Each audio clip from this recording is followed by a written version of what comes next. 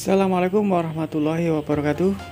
Kembali lagi dengan kami Idola Service Channel. Kali ini kita ketemu dengan TV Sharp 24 in dengan gejala kerusakan lampu kedip-kedip. Kita coba Langkah pertama kita coba reset manual dulu ya. Menggunakan dua jari. Ini input, tombol input sama volume min volume main ya. Input sama volume main ini input ini volume main ya nanti kita tekan bersama-sama. Nah seperti ini. Sambil colokan listrik kita tancapkan. Jadi ini kita tahan pakai dua jari. Nah ini kita tahan terus. Sambil dicolok listrik jangan dilepas kita tunggu sampai TV nyala mudah-mudahan masih bisa. Ya kita masuk listrik kita tunggu. Ini harusnya mati dulu nanti baru hijau. Oh ini tidak bisa ya. Ini langsung kedip-kedip ya. Nah, coba lagi. Ya tetap tidak bisa langsung kedip-kedip. Kalau bisa di reset manual biasanya ini langsung dia akan nyala hijau dan akan nyala dengan sendirinya. Bisa on tinggal nanti kita reset. Karena tidak bisa ya mau tidak mau kita harus bongkar TV nya ya kita flash pakai komputer di IC SPI nya ya kita siapkan komputernya. Kita masukkan programmer nanti kita bongkar dulu TV nya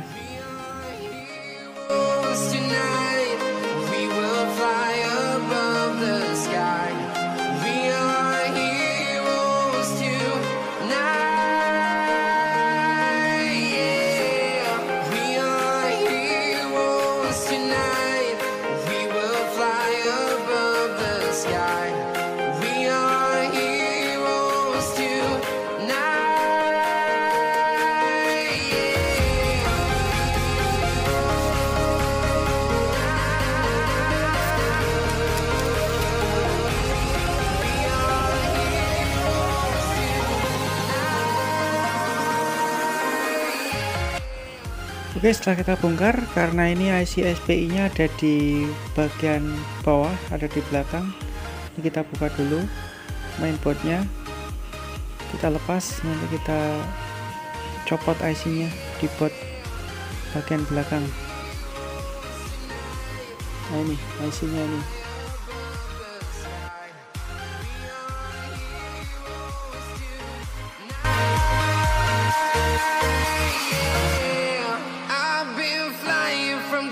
town to town, from London to Taiwan. I've been all around the globe trying to protect your soul.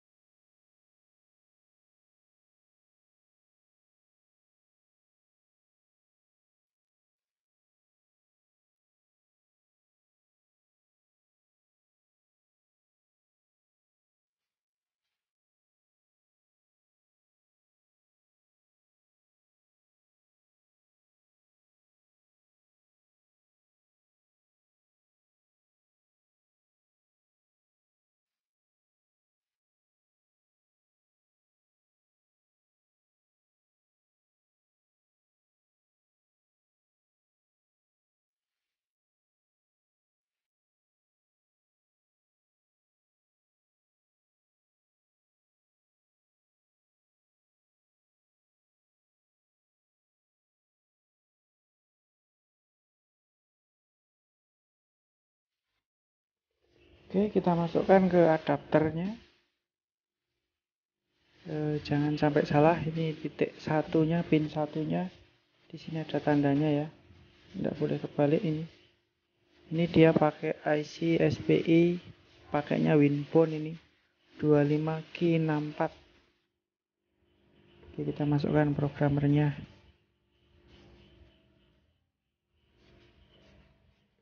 Ya.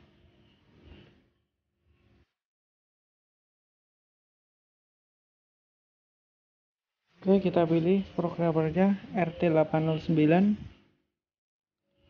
Klik yes. Ya, kita tunggu ini loading untuk programmer RT809-nya.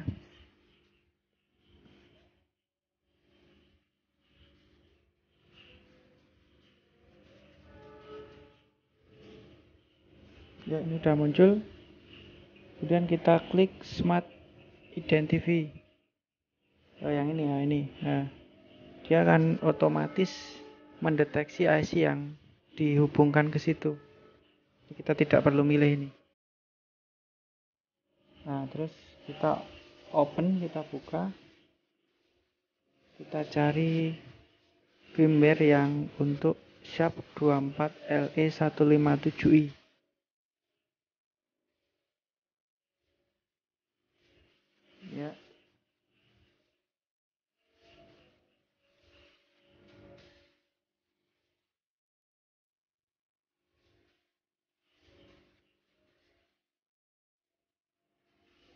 kalau sudah ketemu kita open. Langsung masuk ke sini. Terus langsung kita klik write. Nah, ini nanti programmer akan otomatis dari awal sampai akhir. Jadi dari pertama menghapus dulu filenya dihapus. Kemudian baru nulis write. Baru nanti verifikasi. Sampai selesai nih ini udah nanti kita tunggu sudah selesai sendiri. Ya ini membutuhkan waktu paling tidak 2 sampai 3 menit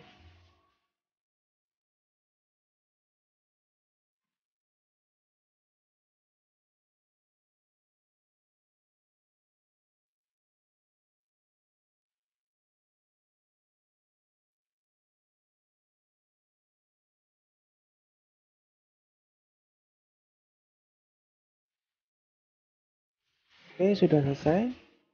Kita lepas, kemudian kita coba pasang di mainpot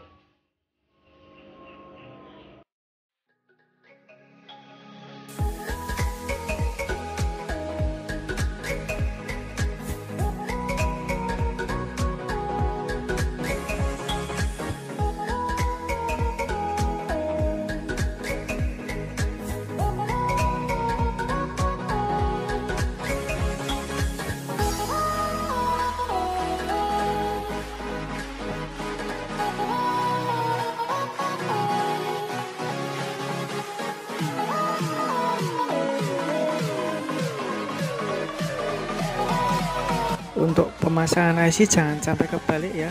Ini ada titiknya. Jadi di PCB juga ada titik ada tandanya untuk pin nomor satu. Di IC nya juga ada titiknya di pin nomor satu juga tidak boleh kebalik ini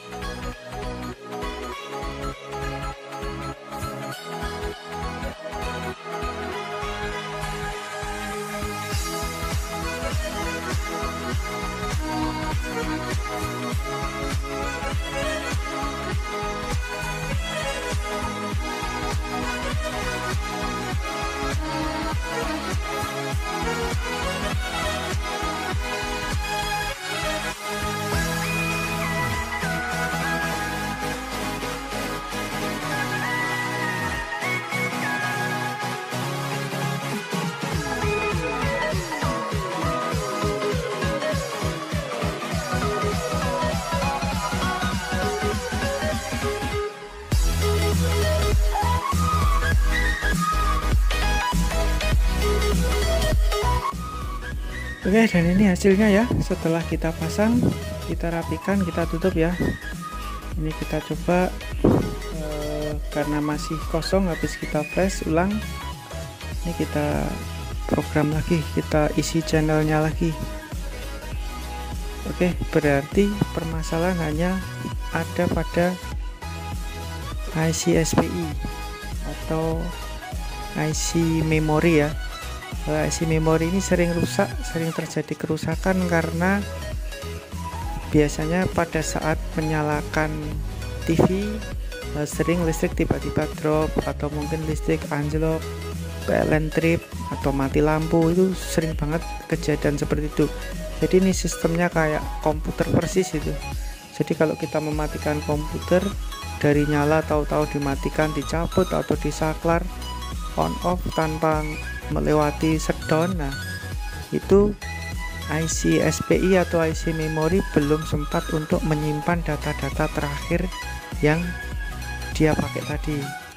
Sehingga pada saat dia dinyalakan kembali eh, IC memori tidak bisa bekerja tidak bisa memanggil tadi data-data terakhir yang ia simpan. Akhirnya error. Nah ini e, maka sebaiknya kalau untuk perawatan TV-TV seperti ini memang harus apa ya harus tegangan listrik stabil kemudian tidak boleh sering mati hidup. Listriknya maksudnya tidak boleh mati lampu. Tetapi itu ya ya sulit kalau kita untuk menghindari yang seperti itu. E, dan untuk yang ini memang tidak hanya terjadi di TV shop ya. Eh, rata-rata e, TV yang model baru seperti Samsung itu juga sering ini. Tapi memang paling banyak yang kita jumpai kerusakan di IC SPI atau di IC memori itu memang di TV shop sama Samsung tapi kebanyakan TV shop. Paling banyak TV shop. Itu karena memang programnya untuk apa itu namanya data-data banyak disimpan di IC SPI kalau untuk TV Shop itu ya.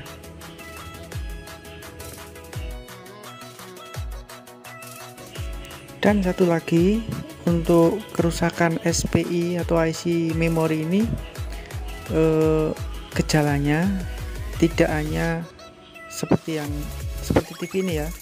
Jadi banyak sekali kasus-kasus yang disebabkan oleh si memori ini. Seperti misalnya TV tiap kali dinyalakan kita tidak bisa menyimpan siaran harus program ulang. Itu juga termasuk kerusakan di seperti itu di IC SPI kemudian TV tidak mau on jadi hanya standby.